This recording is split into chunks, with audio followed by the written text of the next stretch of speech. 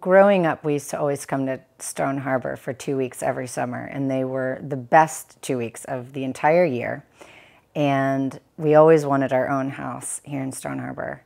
And I remember begging my father and trying to convince him um, that he should buy a place. And he would hem and haw, but I knew he wanted one because he grew up coming down visiting his uncle who had a place on 111th Street.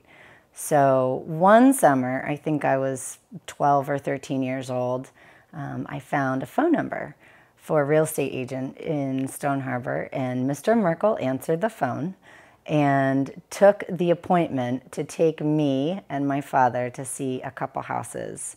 And eventually, I'm not sure exactly how long it took, maybe a year or so, um, we finally found one, and here we are, 20 something years later. Um, and it has been the best place ever. Um, come down all year round. Um, I think I've spent more New Year's Eves here in Stone Harbor than anywhere else. Um, had my Sweet 16 party here, um, and now get to share it with my own kids who love coming to Grammy and Ted's as often as they can.